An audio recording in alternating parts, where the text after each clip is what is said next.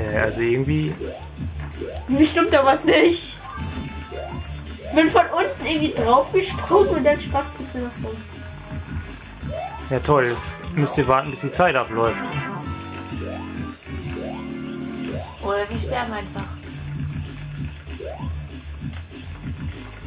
Ja, warte, dann töte ich mich kurz.